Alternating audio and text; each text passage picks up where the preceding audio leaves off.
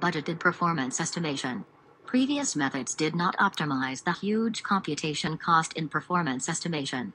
By incorporating the budgeted performance estimation, we can largely accelerate neural architecture search methods including reinforcement learning, evolution algorithm, random search and one-shot with a negligible performance drop.